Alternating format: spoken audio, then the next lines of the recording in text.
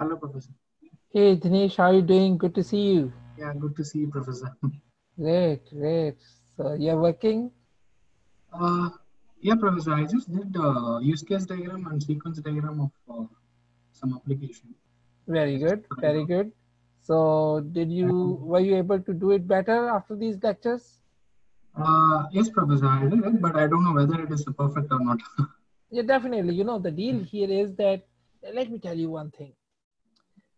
So say for example, there is guy who is like, who knows that he is totally ignorant, right? Mm-hmm. So say for example, there is someone who is totally ignorant. Let me make that guy, right? Let me make it red. So this red person knows that he is totally ignorant. Right? So he is yeah. standing in front of the fortress of knowledge. Right? And this, this door is closed for him, right? Yeah. So he knows that there is something beyond these boundaries which he does not know. Oh, okay. So one day he decides that, okay, I have to study, right? So he opens this door, right? And comes to, comes within the fortress, right? Oh. now, what does he find? He finds himself into another big hallway, right? Where there are so many other doors. Door of math, a door of English, a door of Hindi, a door of maybe physics, a door of chemistry, a door of science, a door of geography. He finds that all these doors are closed to him, right? So previously he has one ignorance level that he was ignorant. Now he has opened that one door and comes to a hallway where there are so many doors telling him that he is now more ignorant Yes. right? and then, you know, one day he opens the door of computer science, maybe, right? And as he opens the door of computer science, he finds himself in another hallway. Oh, yeah. There's, there's so many doors, right? Which are closed. Yes, and he knows that now I don't know Angular, I don't know Ionic, I don't know React, I don't know so many things, right? Yeah, this is a good study, Professor. So, so basically, the more you learn, the yeah. more you are ignorant, actually. so look, if somebody does not know computer science, he knows that, hey, I'm not a computer scientist. I don't yeah. know computer science, right? Wonderful. Right? So there's there's like one ignorance for him that he does not know computer science, right? Yes, Professor as he starts uh, studying computer science, comes to this hallway where computer science is present, right? Yes, so he, he knows now that, hey, man, I don't know Angular. I don't know React, right? Yes, yes. I don't know so many other things, right? So things, yeah. So a lot to learn. yeah, and it is true that the more you learn, the more you become ignorant. Yes. yes so so uh, we can tell so much, you know, so many things in this lecture, and then rest is upon you that you study and uh, build your knowledge in that area. Yeah, yeah. I have so many students, you know, who are like, you know, authority in their areas, and I'm very happy that and I sow the seed and, you know, gave them the basic knowledge. Yes. And uh, now they are doing good in their areas. Nice. That's. Okay, great. So let's start our today's discussion. Mm. So we have uh, done so many diagrams. So we started with uh, uh, we started with user stories, right? You started with user stories. Then from user stories, we uh, saw that we will make the wireframes, right? We will group the user stories in various actors, maybe in various uh, layouts, right? And then uh, by separating those user stories we'll make the wireframes, right? Everybody's uh, good with this transition, right? So yes. once you have wireframes in your hand, you are like a little bit more confident that I have something to make now, right? So you have wireframes in your hands. Once you have wireframes in your hands, right? Then you write use cases.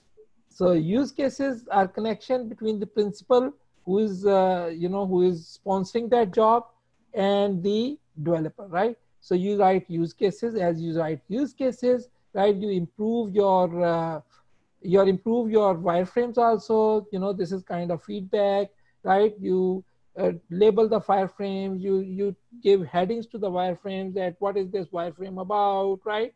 How did you come to that wireframe? Then you uh, at the button and the links you will mention this thing that as you click this button, as you click this link, what is going to happen?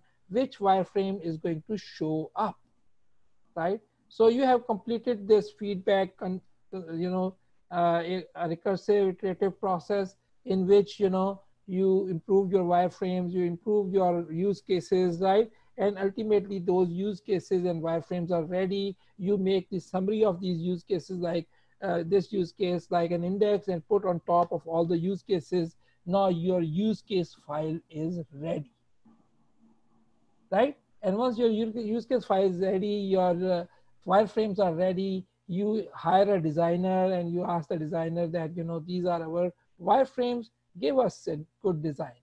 And then, you know, that uh, designer works with you and uh, designer gives you the mock-ups of your project. Right? This is like three, four, five months process, depends upon the, uh, you know, uh, the width of the project, right? So uh, size of the project. So basically, uh, you have got your mockups ready, your, your uh, use cases are ready. Then you write some scenarios, right? You write some scenarios which you are going to test, right? So for example, uh, in my setting, this is very important that a student should be able to register.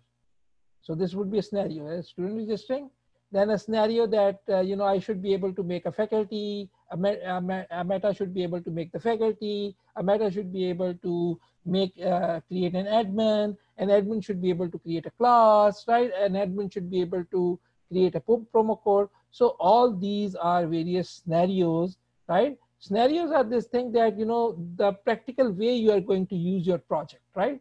So basically, you know, you, you write various scenarios. These are the scenarios against which you are definitely going to test your project, right?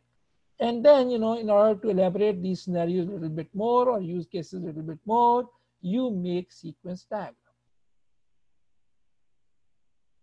You make sequence diagram, right? Now, sometimes it happens that, you know, the process is not still clear or there is a process, you know, uh, which is complicated and you have to explain it further. So in such a case, you make an activity diagram. What do you make? You make a make an activity diagram, right? Are you getting me? Right. So what is an activity diagram? Active out of all the UML diagrams, activity diagram is the one which is nearest to something which is known to you all and which is flowchart right? Have you ever heard of flowcharts when you were in undergrad? Yes. Right. So basically, you know, flowchart, right? So basically, activity diagram, you can think of a flowchart, but it is definitely different from a flowchart, right? So flowchart is like uh, uh, the chart of a process, you know, but it may not have, uh, you know, uh, asynchronous activities or things like that. So whereas activity diagram is, you can say that interactivity, it shows the interactivity between various modules of your project to deliver a task, right? So say for example, I want to make the make an activity diagram of um, registration process with MachoMath, right? So let's see how does that activity, uh, you know, diagram work, right? Got it, guys? Hello, everybody, right? So let's see that how can we make this activity diagram. Let me make it this freehand sketch, I believe. Okay.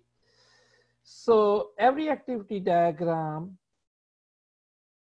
normally starts with a start. So can we format it? So let, let us have, you know, freehand.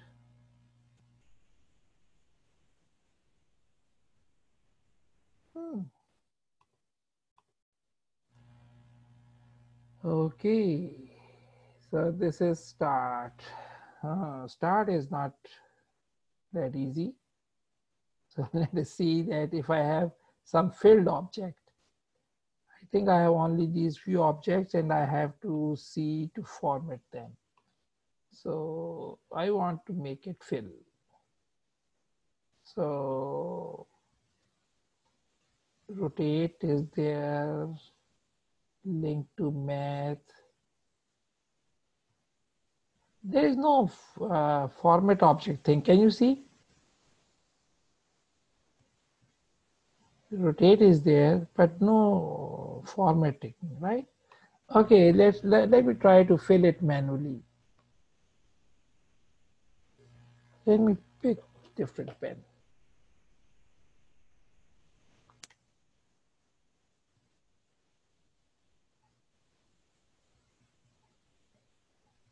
So this is start symbol, right? So we start from here. So this is a start. So a student comes to the, uh, a student comes to the uh, registration page, right? And uh, now he's, uh, she's there, right? What are they going to do first of all? Now we will have an arrow and with the help of this arrow, we will show the flow of the work.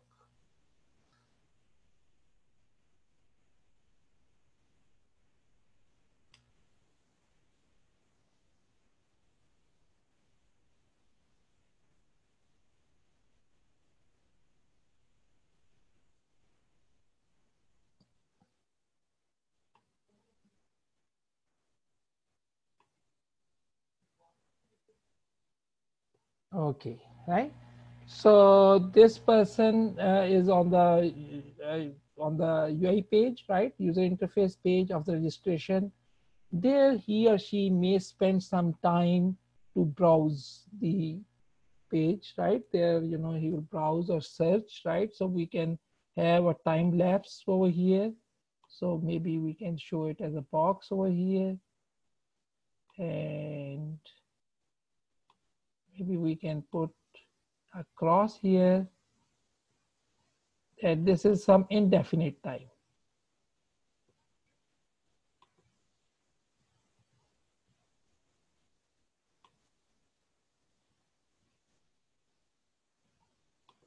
So maybe find or search. So this is some time in which he or she will search for the contents, right?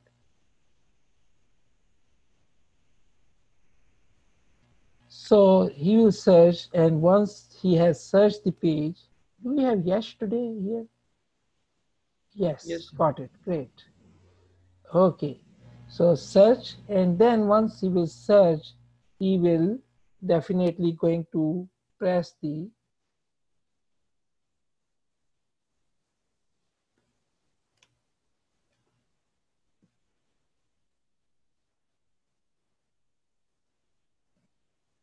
definitely going to press the registration button.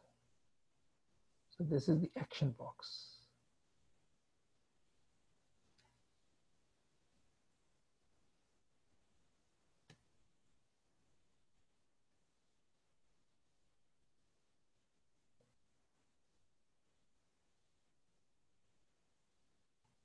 Right? Press the registration button. Right, guys? So once he presses the registration button, what is going to happen? What is going to happen?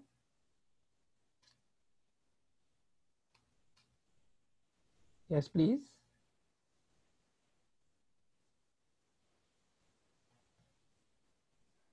Uh, sir, the arrows which we are making, uh, are those associations?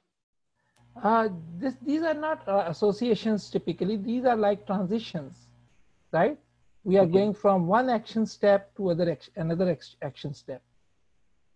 Okay. Okay. Yeah. So press uh, registration button, right? And once you press, press the registration button, uh, not press registration button, before that we would have another stage, right? Let me just make space for that.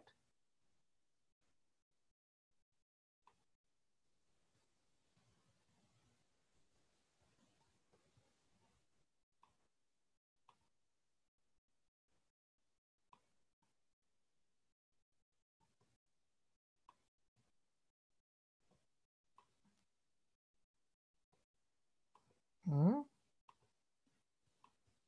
And that is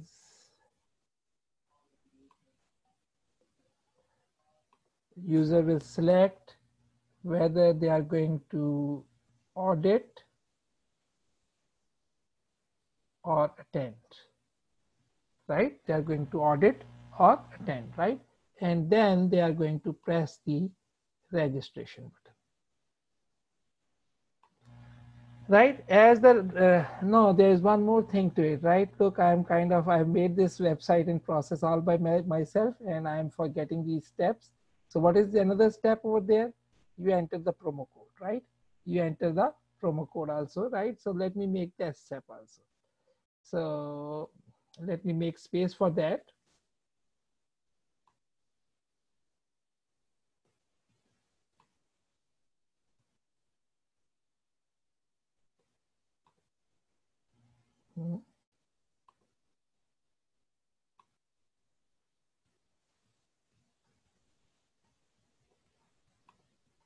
So here, uh, what is going to happen? Enter promo code. Right, guys? Are you getting me, by the way? Hello? Yes, Yes. yes. Okay, good. So once you enter the promo code, let me delete this part and I'll make it again. Don't worry about it. It's like kind of dangly, right? Once you enter the promo code, what is going to happen? As I told you that this is like flowchart. So here we are going to have all sort of if else, right? So basically, once you enter the promo code, uh, what is going to happen? That promo code would either be good and it should, it would I, uh, otherwise be bad, right?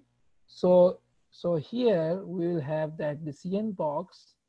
So we come over here, make an arrow like this, make a small diamond like this, right? And then from, and this is known as decision point or forking point, right? So from the forking points, there would be two ways. You come here, right? And you go this way, right? So here you can have guard conditions. Do I have some text box? No. So here I'm going to have guard conditions.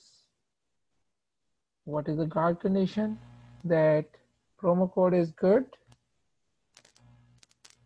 Promo code is good. And the other guard condition would be promo code is bad. Right? Promo code is good and then promo code is bad right? If promo code is bad you need to tell that what should you do right? So once promo code is bad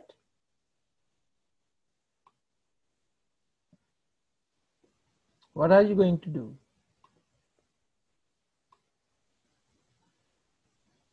right? Here you will show a pop-up right?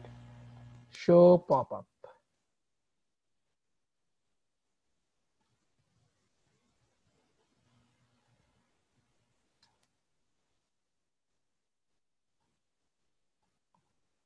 Show pop-up right? Um, it may also happen that you decide not to enter promo code, right? You, you decide not to enter promo code, right? This thing may also happen. So let me make space for that also. So we come back over here, right?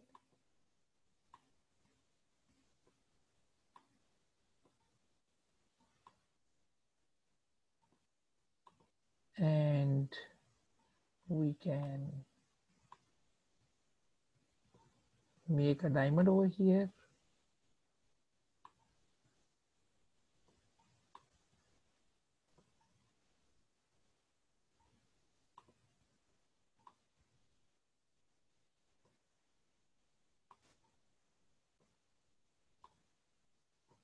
And here we have the guard condition.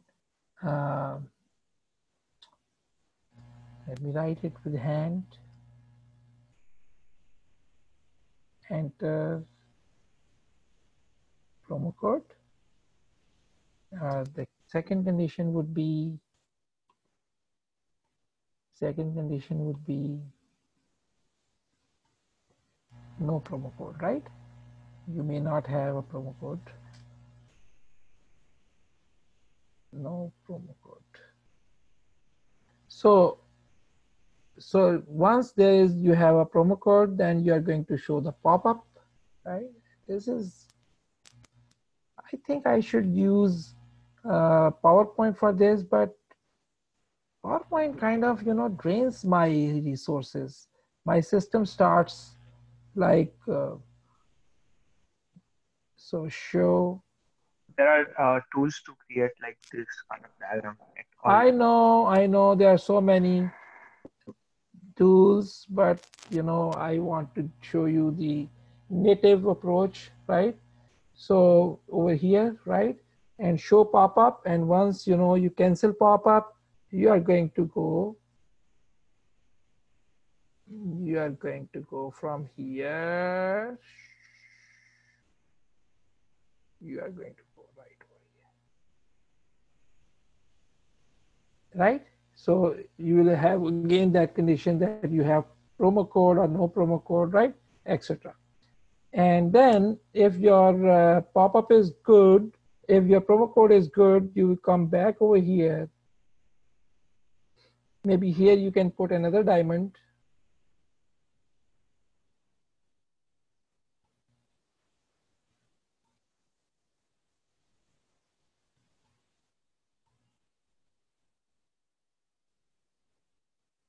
you know once i subscribed to SmartDraw right SmartDraw gave me good choice you know i was able to make good diagrams but then you know SmartDraw uh, start sending me so many promotional emails that my entire email box was got cluttered with it.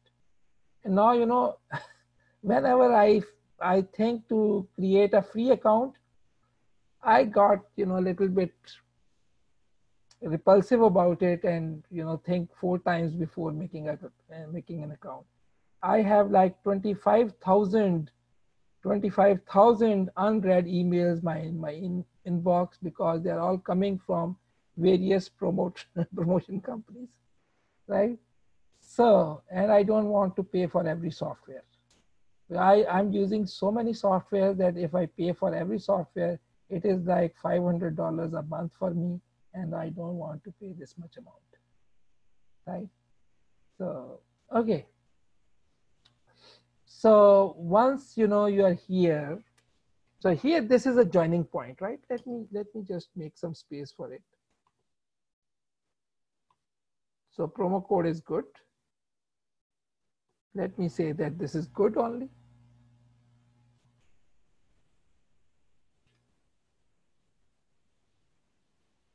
These are known as guard conditions, right? And ultimately you are going to join over here. So now what is going to happen?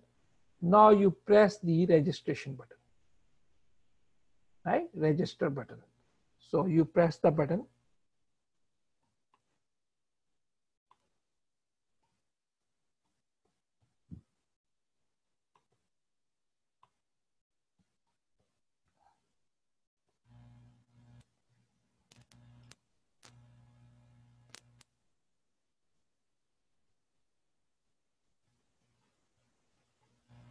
Right? You press the registration button. Yes, am I right? Making it right? Yes. Yes. Yeah, you you made that account also, so you can verify it. So as you press the registration button, what happens?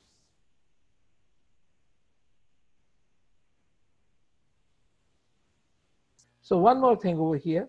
So if your promo code is good, right? If your promo code is good, then something will happen. What will happen? I missed that thing. Let me make it over here. What happens over here? That new prices are shown, right? So once promo code is good, you see new price. Right, once promo code is good, good, you see new prices and then, you know, you go to the press registration button. Once you press the registration button, what happens? You show that you see the terms and conditions, right? You, do you want me to show you? So yes, would you like us to sh uh, share your screen for a minute and show them uh, this process so that they can understand Yes. it better? Let, let me stop share for a minute.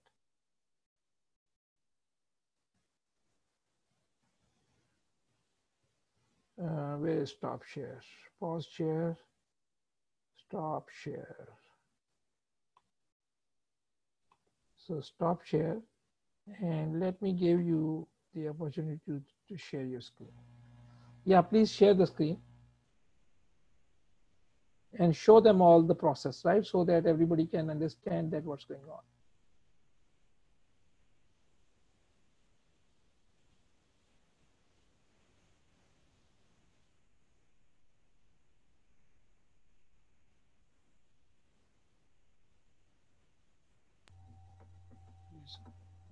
Okay, so once you press the registration process uh, button, what happens is that it shows you the terms and conditions.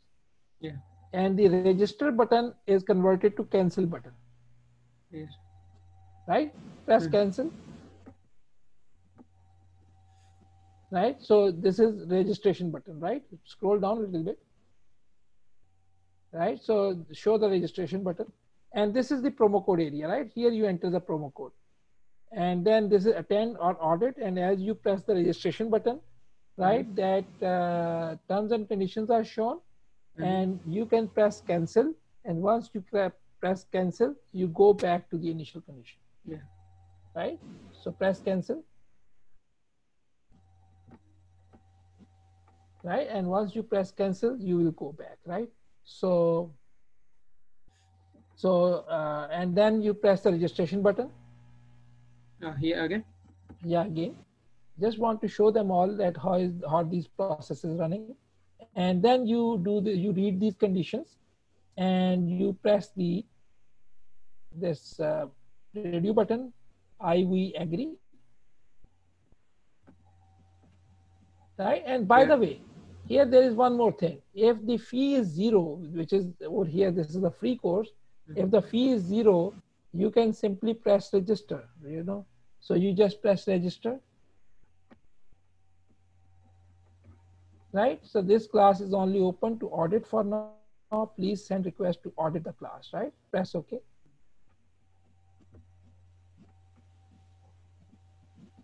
Right, so you go back over there. Uh, the free class or uh, a paid class? Yeah, this is the same free class, right? So here, you know, if you just select the audit button, Mhm. Here, select- okay. so cancel and press audit, register, Yes, I already. And now you have selected audit and then go down and agree and register. Right, welcome to this class, right? Copy of contact class details is emailed to you, right? So basically press OK and confirm that you have got the email. Guess. Yeah, you can uh, unshare and then confirm. Yeah, uh, yeah, I, I, I will check in mobile. Okay.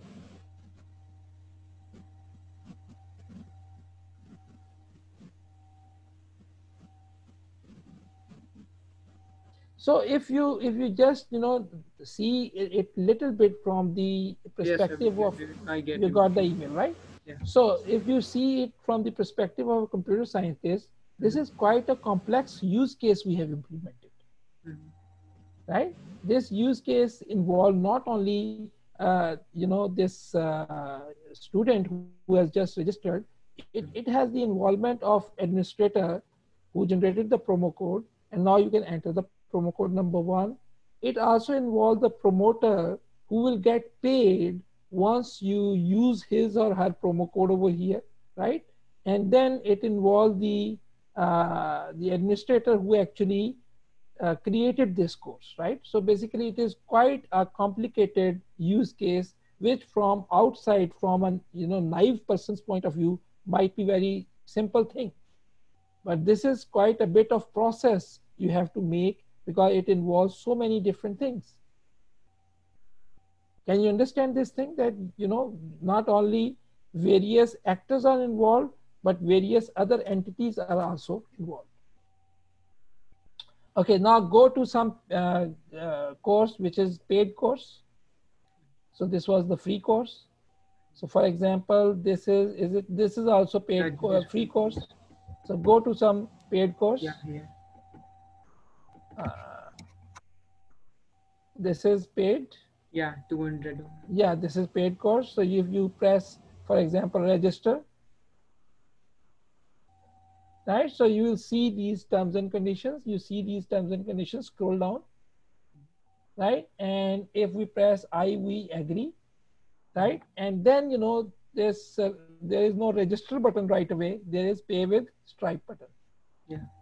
You press pay with Stripe button. And once you pay with Stripe button, this, uh, uh, you know, pop-up from Stripe opens up. And it is providing you an opportunity to enter your uh, payment details. And these payment details are never going to hit our server. Right? These payment details are not never going to hit our server. These payment details are gonna go to the Stripe server directly right? So basically it is shown at the client and from client it is going to go Stripe, right? Who is compliant and who is authorized to process such information from you, right? We are not authorized to keep this kind of information with us, right? So this information never hits our server, right? So it goes directly to the Stripe, but an information, um, uh, you know, Stripe gives us a token for that, and against that token, we launch a request from our server side. And there we give the amount, and basically this amount over here, whatever being entered over here, which is like paid $20, it should match with the amount coming from the server.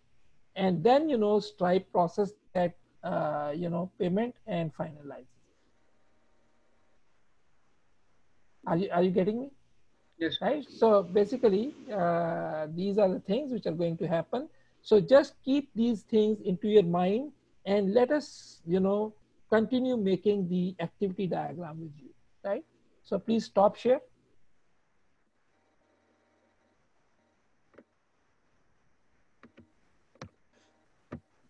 Right? And here we go. Uh, where i was let me share screen share my screen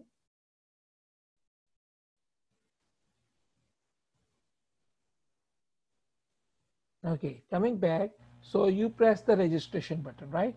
Once you press the registration button, what happens?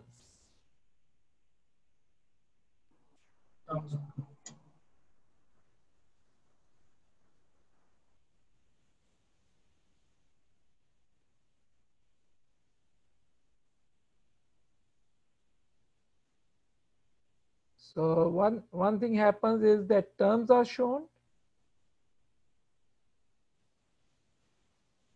The other thing happens is the registration button converts to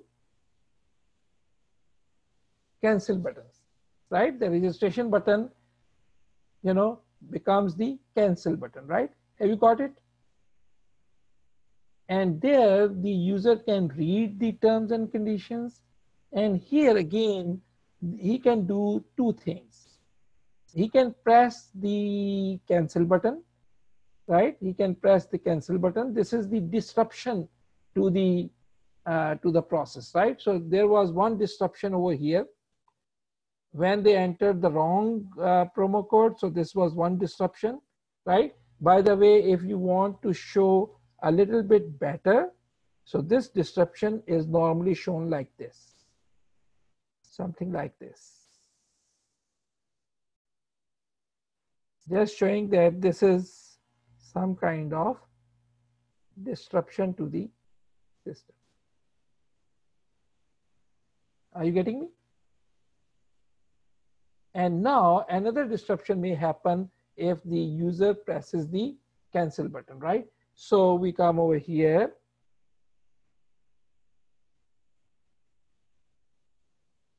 And maybe we can fork from here.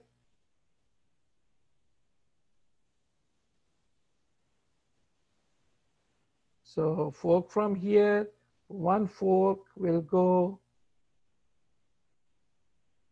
for the cancel button.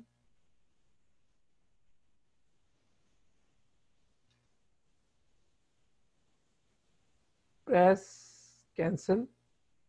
And in that case, this is a disruption. So you can show it something like this. Right, this is a disruption and you can take control to this point. Right, guys? You would be back to that position right in the page. And the other possibility is that he presses the radio button.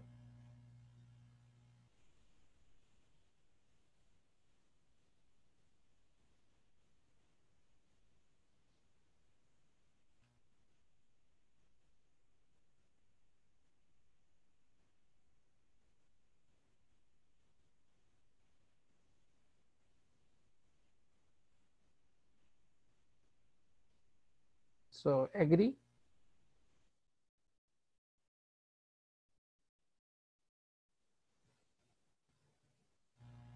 Right? Once agree, what happens next? Yes. After we have to uh, click again the re- uh, registration button. Uh, No, so basically, you know, once agreed, it shows you uh, the signature. Sign, sign, yeah. yeah it shows you the signature so here you know it shows you the signature.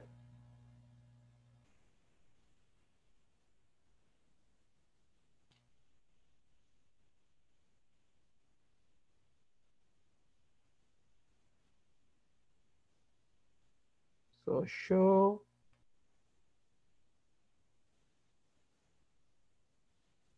Signature right? And what else yes please.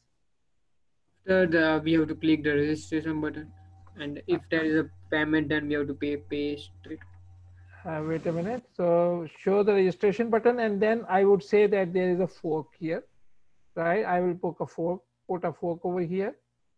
So there's a fork right? Fork is here. And why is this fork here? Because if the course is free then it is going to show you only the register button. Otherwise it will show you pay with stripe button. Right? Getting me? Hello? Yes. right? So here yeah it is going to show you the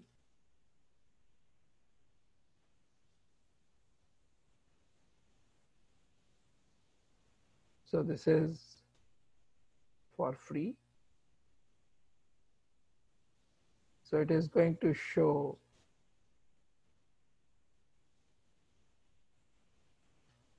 It is going to show the register button right? And then once you press registration button so sometimes people show this thing as, as different because this is not action. So this is square and these action boxes you know they are little rounded over here. Okay.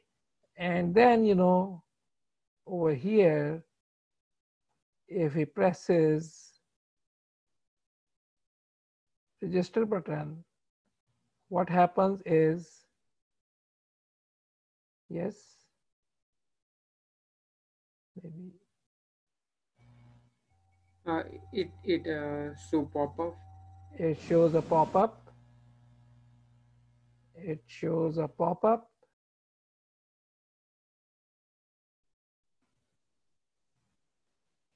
and email is sent right right? And an email is sent and this completes the process, right? This completes the process. So completion is shown this, bullseye, something like this, right? So this completes the process, right? And if this is a paid one, not free, paid, then it falls from here.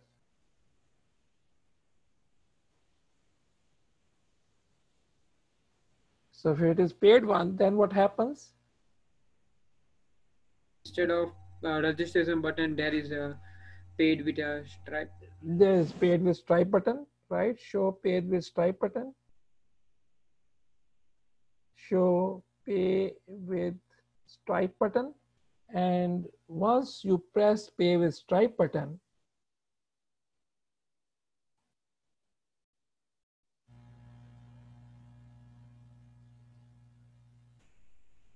sorry.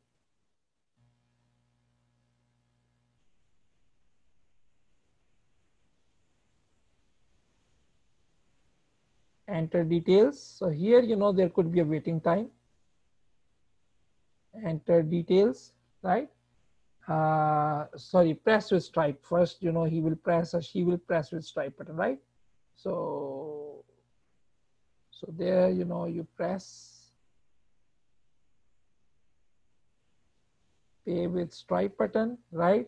So once you press pay with stripe button, what is going to happen? Yes, Yeah, it it's a pop up of that stripe. stripe pop-up, right? So stripe pop-up will show.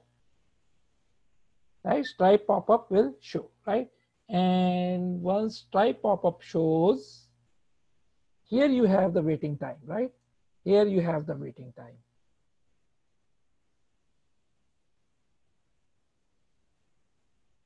Wait, student, enter details. Right? Student will enter the details, right? And once you press the button,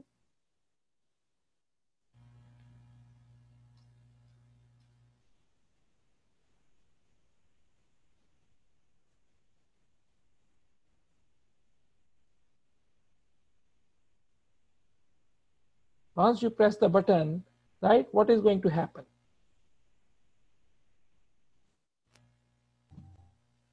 Once you press the button, what is going to happen? It will. Uh, Yes. It will send those details, send to Stripe. Right? So it will send. So this is this outward arrow going is send those details to Stripe. Right? Stripe will do their work, validate it, right? And then what would be the next, next step? Next step would be Deduct the payment. you will receive those details from Stripe. Receive from Stripe. Right? You will receive, you know, those things from Stripe, right? That, you know, payment is good, credit card is good, etc., etc., right? So if everything is good, so here you can have again a forking point.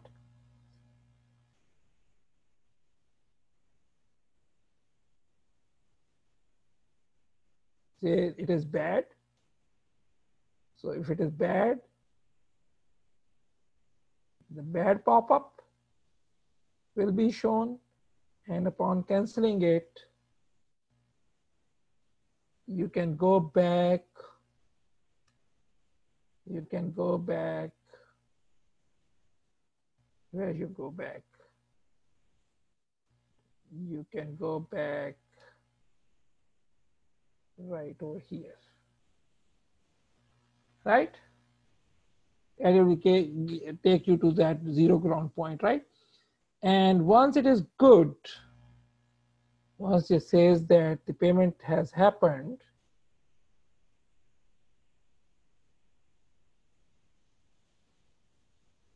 then what are we going to show?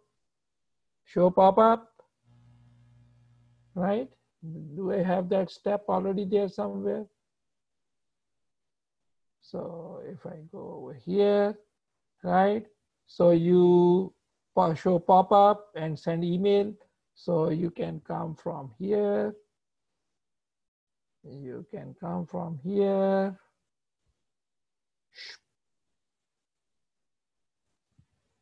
You can come from here and go right over here, right? This forking point.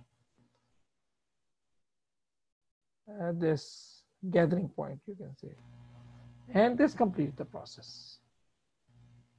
So you can see that this was a small, small process, but still quite a bit complicated. Right? So this is your activity diagram for this process. If you want, you can take a screenshot so that this is with you.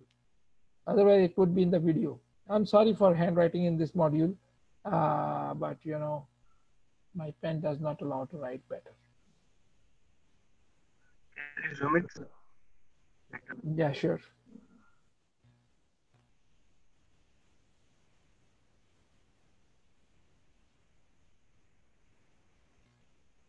Should I slide? Yeah. Okay.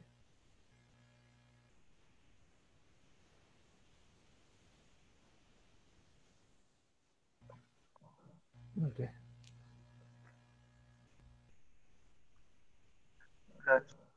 So this is your activity diagram, right? So activity diagram is made not for everything. It is normally made for complex processes, right? If there is a complex process which you want to communicate to your developer that how exactly you think it's going to happen, right? So you make this activity diagram.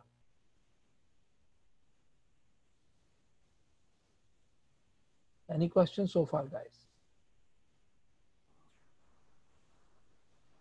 So since I was the solo developer of this particular project, all these activity diagrams are floating in my mind, right? But we need to put them in on paper once you have more than one developer working on the same project. Got it, guys? Any question? So whether you have low funds or high funds, definitely, you know, you need to make these diagrams right? Any question? No, sir. Okay, great. So let me step back a little bit and let me tell you one thing. Look, this is UML. UML has three legs. One is known as interactivity model.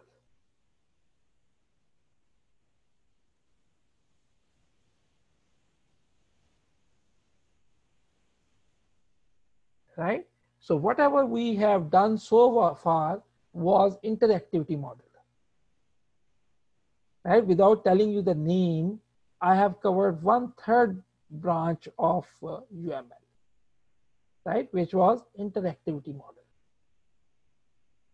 Right? So in interactivity model, you know, you make user stories, you took the you take the system analysis, you survey the system, you see the requirements, right? You you you write user stories, you make uh, you group those user stories, you make uh, wireframes, right? You write use cases, you give feedback of use cases to wireframes, improve them, improve your use cases, improve wireframes, iterative process, right? And then you know once your use cases and your wireframes are ready. You give those wireframes to your designer.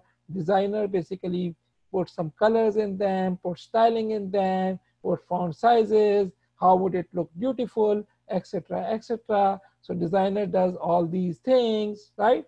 And on the other hand, you write scenarios, right? You make sequence diagrams, right? You then make activity diagrams if there is a complex process where you want to transpire further. So this entire thing, this entire modeling is known as interactivity modeling.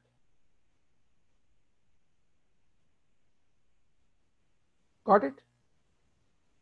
but wait a minute, you cannot, you're not still ready to code. You cannot start coding right away, right? There is one more thing, at least one more thing you need to make, and then you can break ground with coding. What is that one more thing? And there is another leg of UML, and that is class model.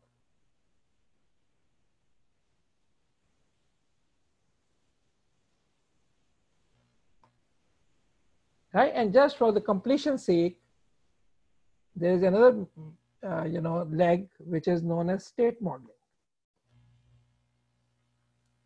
Ideally, you have to complete state modeling also before you break ground. But I would say that make at least interactivity model and class model and then think about coding. Right? But definitely state model is very important also. But this is how I'm going to uh, drive this course. So I have taught you already what is interactivity model right? Now I will start teaching you with class modeling, right? And once I will, uh, I would be near finishing class modeling, I will definitely start uh, doing some coding with you, right?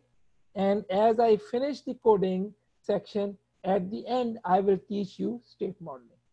Because I don't want this course to be theoretical, theoretical, theoretical, and suddenly, you know, start coding right? So basically we want to start coding as soon as possible, right? And that as soon as possible is going to happen once we know that what is class model. Have you got the idea guys? Where we are, what are we doing, right? Yes, sir. Okay, good, very good. So let's study the class model.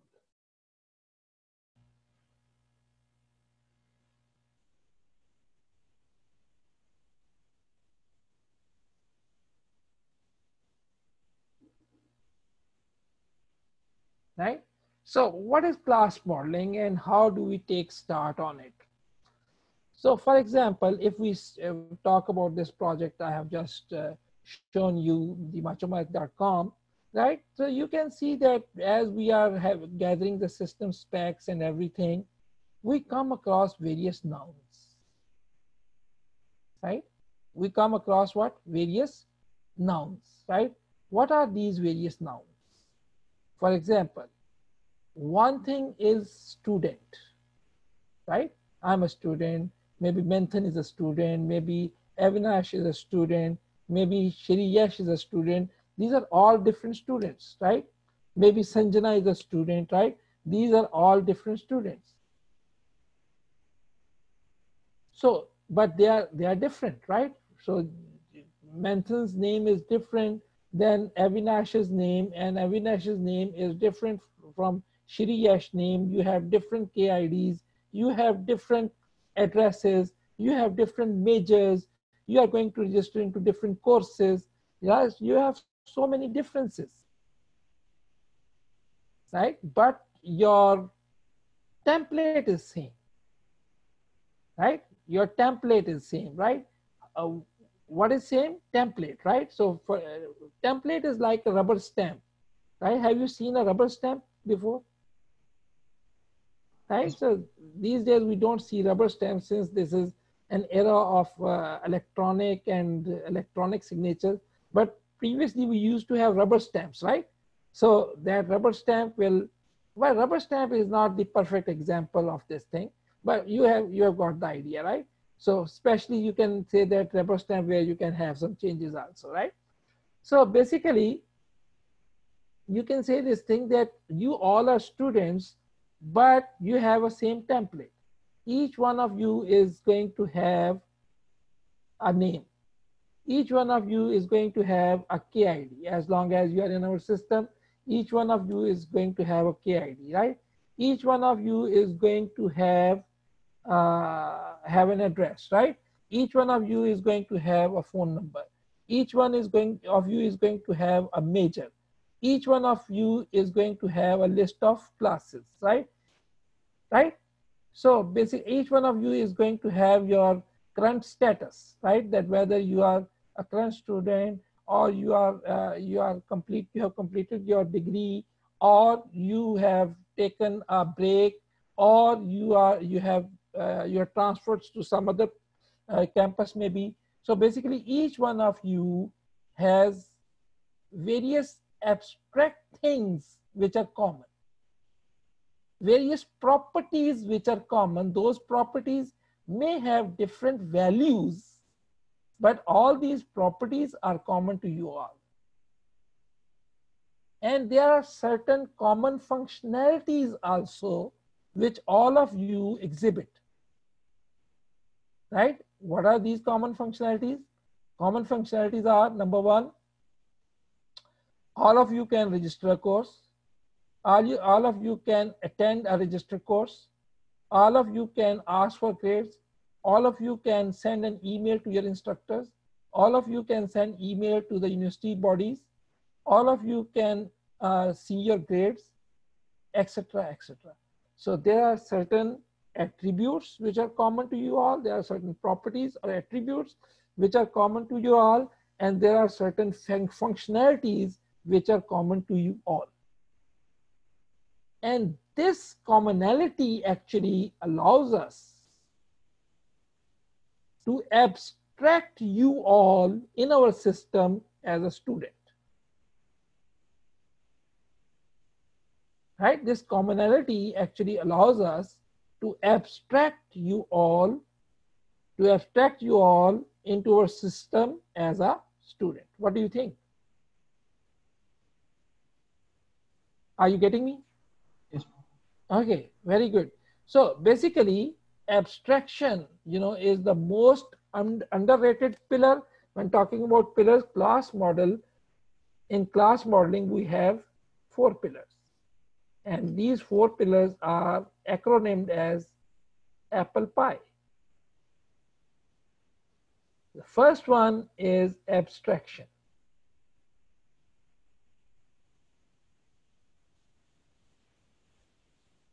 And first and foremost, this is the most powerful pillar. This is the most powerful pillar of object-oriented programming. Most underrated one also, because when I will introduce to you, uh, for example, inheritance or polymorphism, fancy ideas of inheritance, and polymorphism, you will feel, okay, okay, okay, let me do inheritance all, every time. And at that time, we forget this thing that the genesis and birth of object-oriented programming starts with abstraction.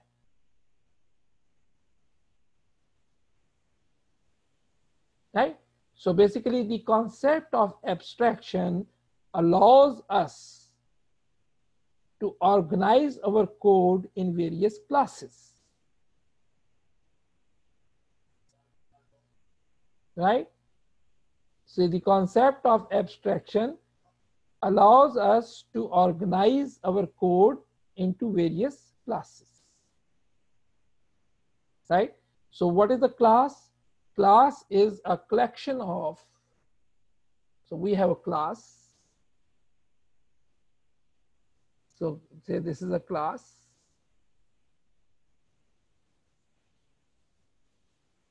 So class, we represent a class like this. Here we put the name of the class, say for example, student. It is already always singular, right? We say student, say this is our class. And then we mention that what are its attributes, right? For example, what could be the attributes of a student? Maybe first name.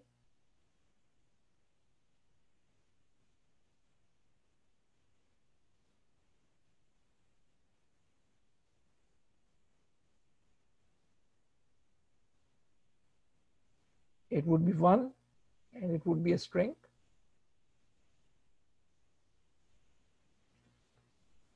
Right? Maybe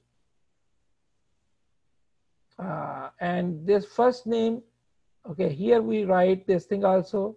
that either it is going to be something which is private to the class or is it a something which is not private to the class which is public so if it is minus it means that it is something which is private to the class right? Why why private why public? I will definitely teach you this thing right? So first name then every student is going to have a last name.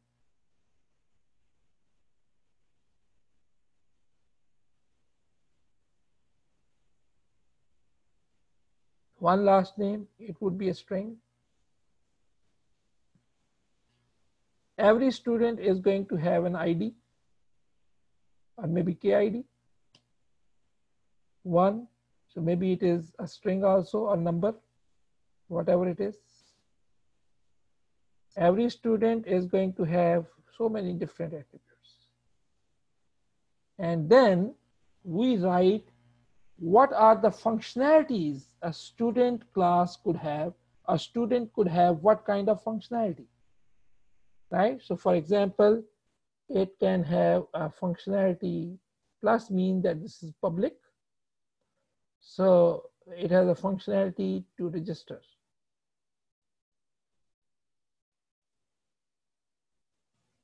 so this is a functionality right and so here we list all the various functionality.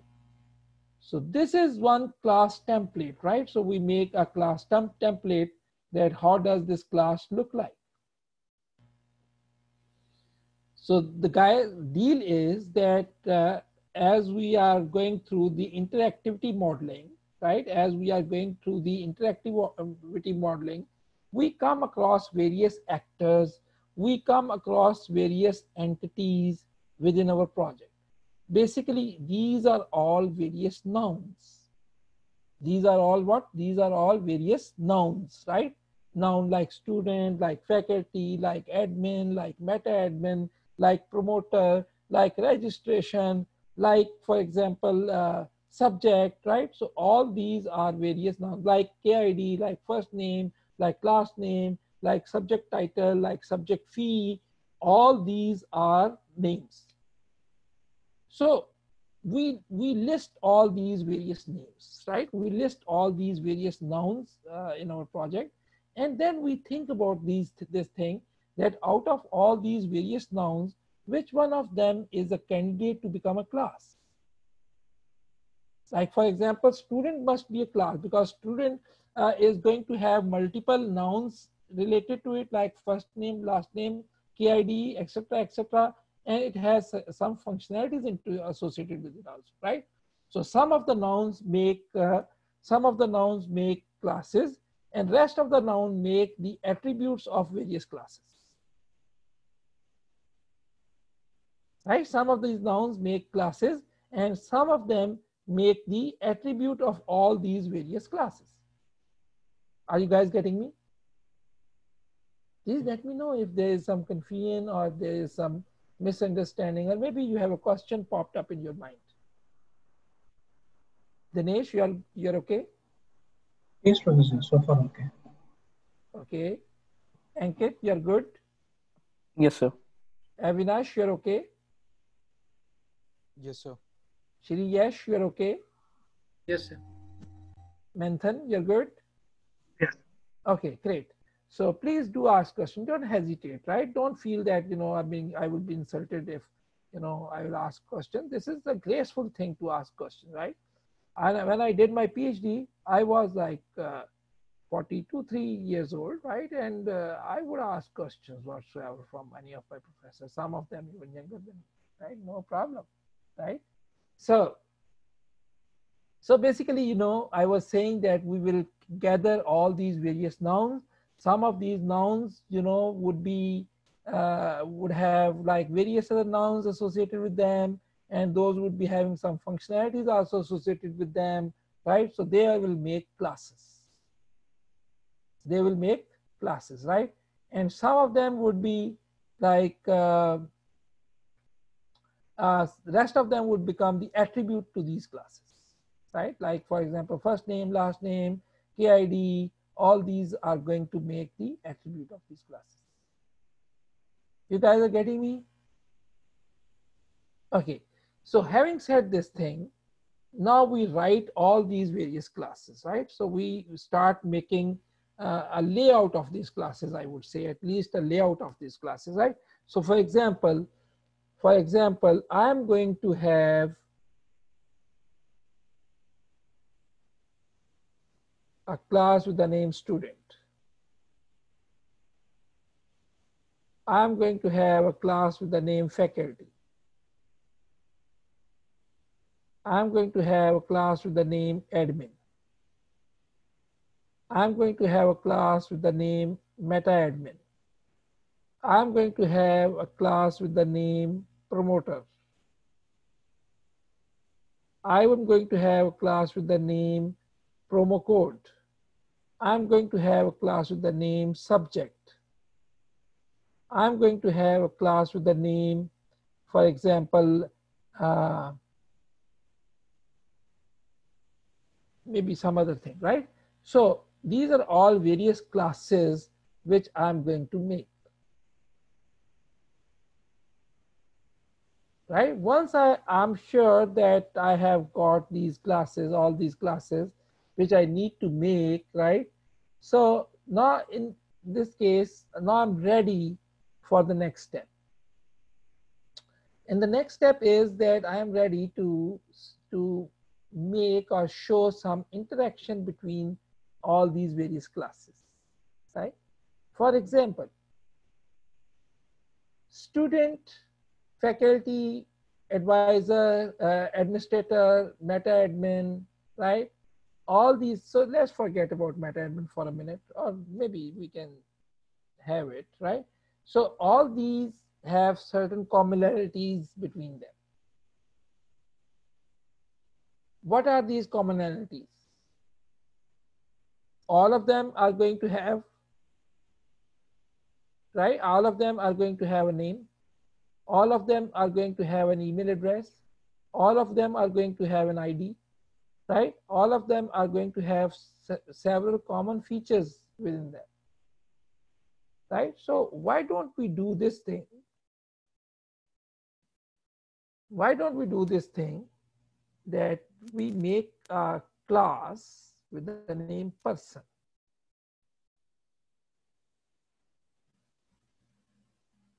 Right? We make a class with the name person, right? We make a class with the name person and put all those common things into this class person, right?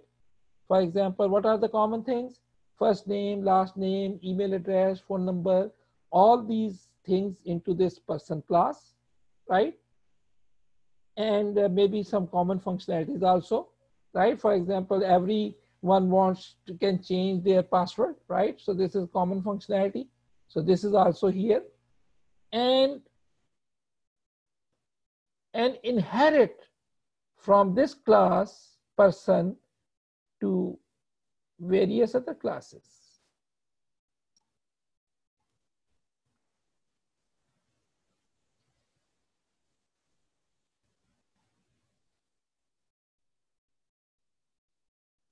Right, so this concept is known as inheritance right? What is this concept? This concept is inheritance that we have a class person and that class is going to have all the common things up there, right? And then we are inheriting from that class, right?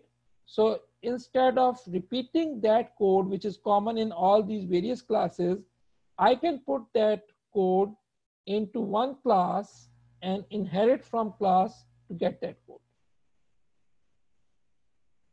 So object-oriented programming, by the way, is not just, you know, uh, to make classes. The basic purpose, you know, one basic purpose of object-oriented programming is definitely this, that uh, we want to eliminate, not avoid, we want to eliminate the duplication of code. right? We want to eliminate what? We want to eliminate the duplication of code, right? So the entire common code is going to go and sit in the person class. And then we are going to inherit from that class to student class, faculty class, admin class, and meta class. This fancy concept is known as inheritance. By the way, there might not be a concrete entity with the name person in your system. Right? Because, for example, thinking about the university, right, there would not be a concrete entity with the name person. Right? But you can have this abstract concept over there just to contain the commonalities of all these concrete entities down there. So this concept is known as this person class can be said to be uh, an abstract class.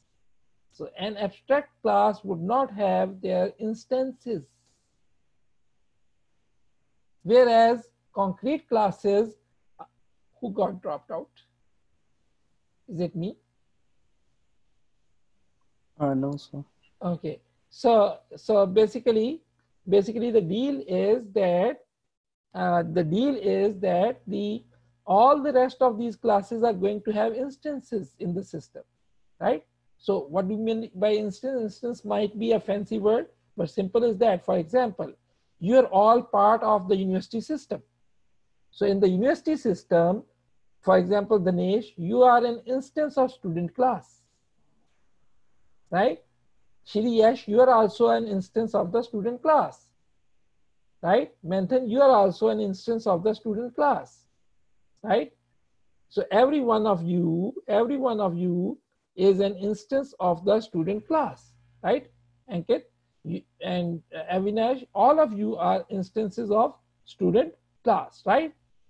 I am I am uh, an instance of faculty class, right? But both of us might be inheriting from a common class with the name person, right? And that class would not be a concrete class because we're never going to make instances of this person class, right? By the way, instances of a class are also known as objects. So we would never be having objects created of person class, but this class is there to hold the common, common things. Have you got the idea? Right? Any question? The first class is a concrete class, Professor? Is Person is an abstract class. abstract class? Okay. Abstract class. Abstract class means that uh, this class is not going to instantiate. This class is just there to uh, to hold the common features. That's right. Uh, Got so it? Student and faculty and all uh, concrete classes. Uh, student, faculty, admin, meta admin are concrete classes. Yes. Ah, okay. Right got it yeah definitely these are all concrete classes right so let me tell you that for example this current project we are continuously talking about so let me show you that how did i make the make a uh, class diagram for that right? So say for example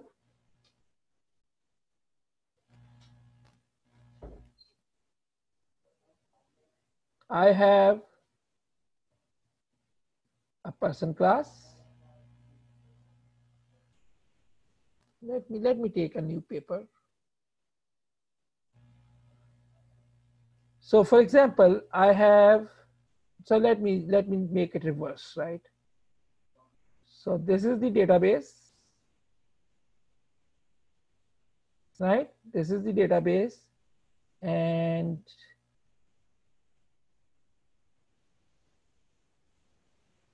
I have a class over here with the name PDO, right? This is the template class, PDO, library class. So this class is responsible uh, for the interaction with the database, right? So this is database.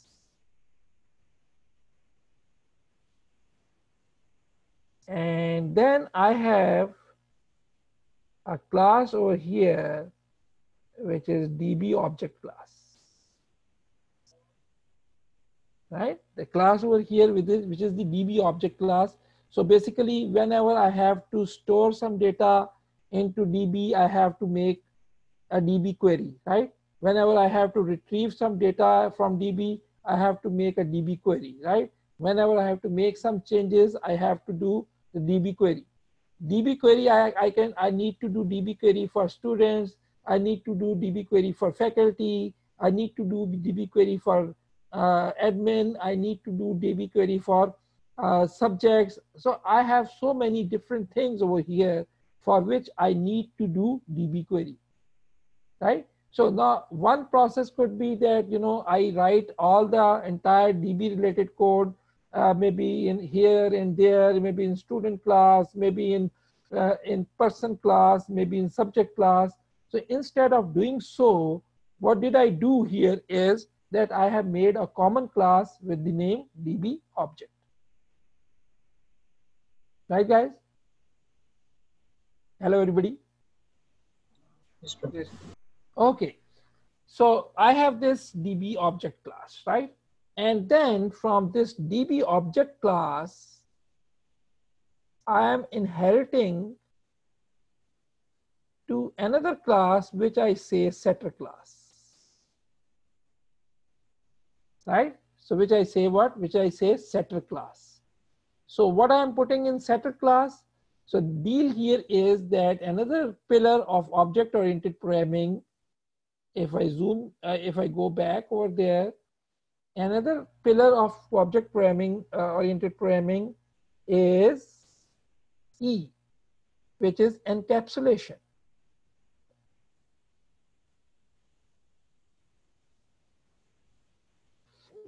Right? What is encapsulation?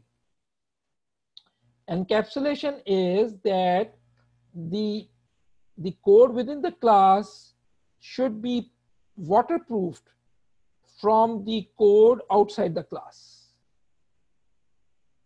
Right? So class should encapsulate its interior. Right? A class must encapsulate its interior. That, you know, uh, for example, uh, I, I hired Dinesh you that you better go ahead and uh, make student class. I hired Yesh that, hey, you go ahead and make the subject class. Now, these two classes are going to work with each other. But the deal here is that the student, Dinesh, you made the student class. So Yesh code should not be able to disrupt your code. Right?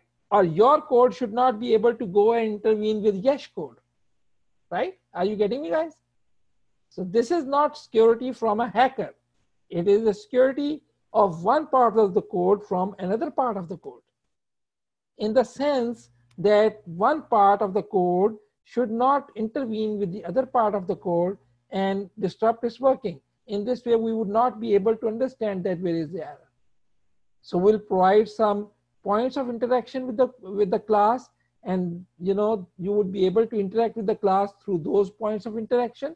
I will make those points of interaction for you, but you would not be able to interact in, uh, with a class uh, other than those points of interaction right? So basically for, in order to implement that analogy, you need to have the concept of setters and getters, right? So this is a class where I'm, I put all my setters and getters. Are you getting me guys? Hello everybody, Yes, Prabhu.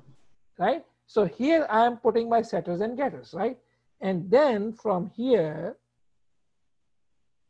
I inherit from here further. Let me use blue.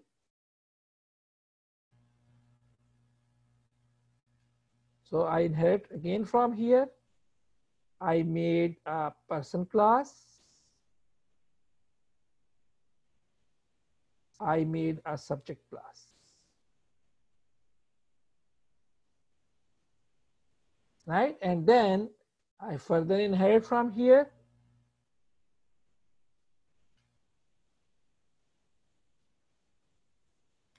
Mhm. Make a student class, make a faculty class, make an admin class, make a promoter class, right? And then made a promo code class.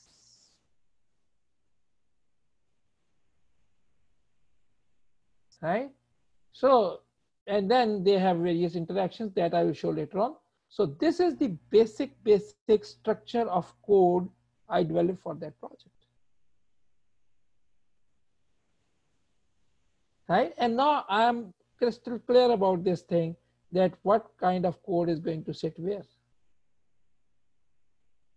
Right? And by the way, this is not end of the story. This is just beginning of the story.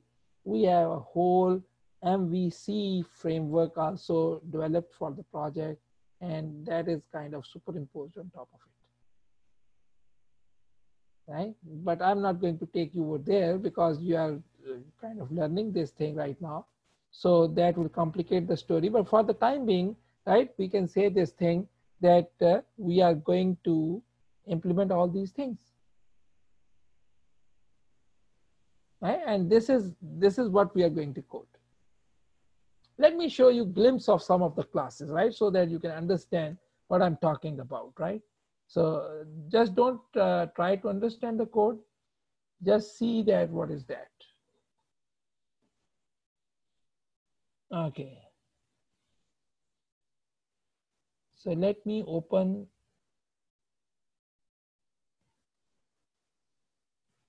So this is the project. And within the project, uh, you can see these includes. And within these includes, let, let me show you another project. This is not that well organized. So I just don't want to taint your mind with that. Uh, let, let me show you this.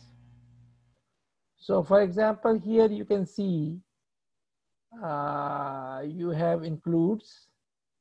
Within includes, you have uh, models, you have controllers, you have views, right? So this is MVC structure I was talking about. I'm not going to teach you this, but this is normally here. So we have views, models. So for example, within models, we have various data classes. Model means your data, right? View means whatever you see on the screen. Controller means that that class which controls this thing that what is going to be shown. Right? So we have model, view, controller, right?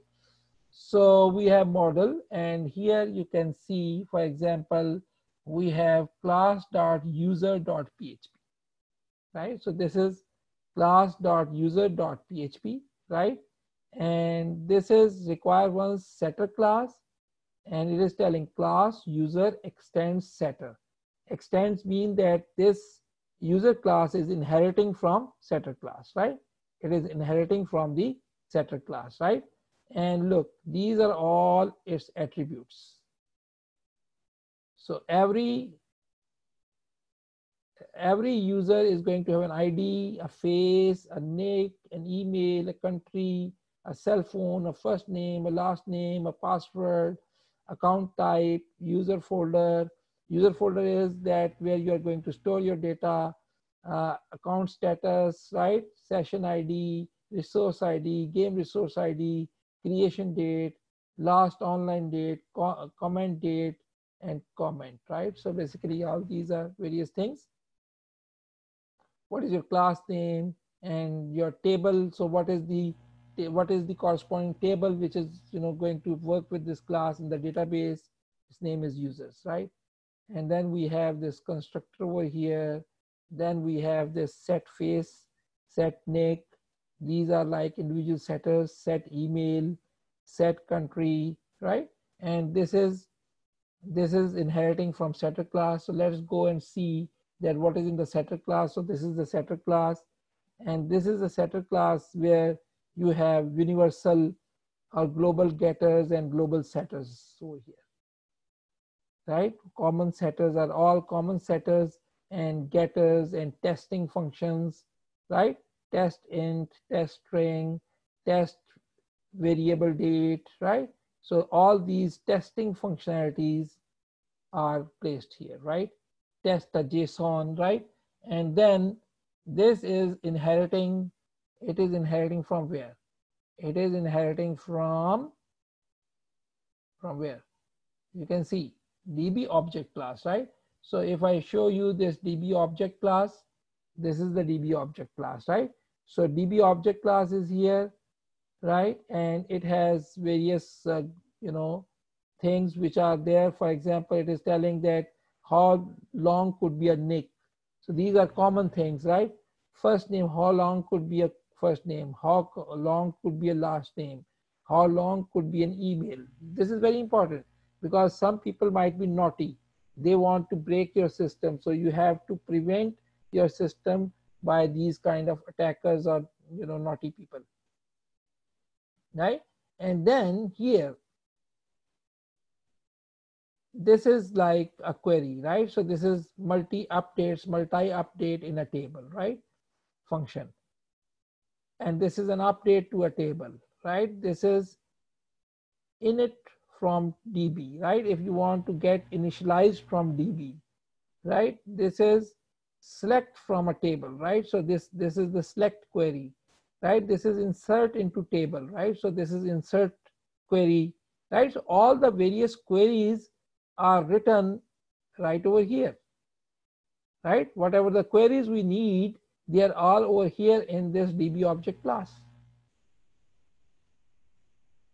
Right, and then this is this is where we are also invoking the PDO function, right? PDO function. So this PDO is the interaction with database, right? And this is this uh, PDO function uh, class is the built-in PHP class we are using, right? So this is how we organize our code. So definitely, you know, the from uh, next class, I'm going to show you that how are we starting to write our code right? Because I don't want to show it today and then we'll take a break of two days because weekend, right? And then restart on, on Monday. So, but I will take this start on Monday. Now, if you have any questions, you can ask questions. So today we have covered, we completed actually our interactivity model by, by introducing to you with the activity diagram. It finished the interactivity model and then we have started the class modeling, right? And as I will teach you class modeling, I will also code with you so that you can understand that whatever being drawn over there in the class diagram, how can we correspondingly code it over here in, in our uh, in our code, right? Got it, guys? Any question? No. No. right so so my language of choice for this course is php i could have used uh, uh, javascript also for example but javascript as i mentioned that it is such a huge language and such a huge mess that it's very difficult to teach object oriented concepts in it right so it is like this, JavaScript is like this. That if I ask you that Hindi, German, English, Chinese, all these things are mixed together in one language, right? So you can imagine what is going to happen. Some people will be speaking Chinese and they would be uh, thinking that they are speaking this Spencer language, right? And some people would be speaking Hindi and they would be thinking that they are speaking that language. Some people will mix Hindi and English and speak a mixture of that language, right, which normally people do, right? And they will think that they are speaking Hindi, but otherwise, you know, should Hindi people will not understand them, right? So this is exactly what has happened to JavaScript.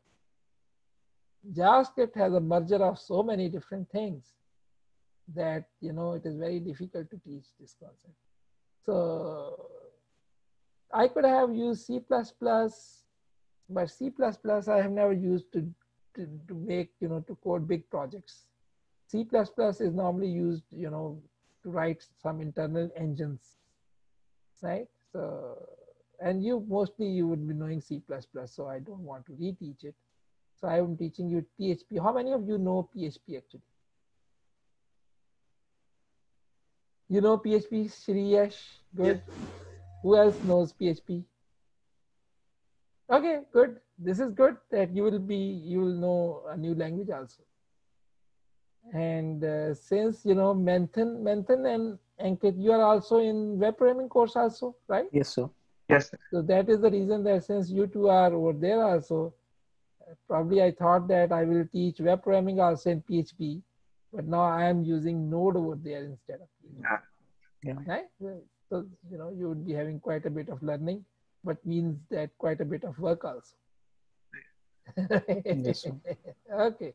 So yeah, muster up all your courage over the weekend and we'll start our coding from Monday, right? Any question? So if there is no question, I'll stop here.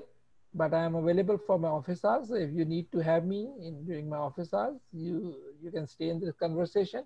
Otherwise, you can simply drop out. Thank you very much. Take good care of yourselves. Goodbye. Thank you, sir.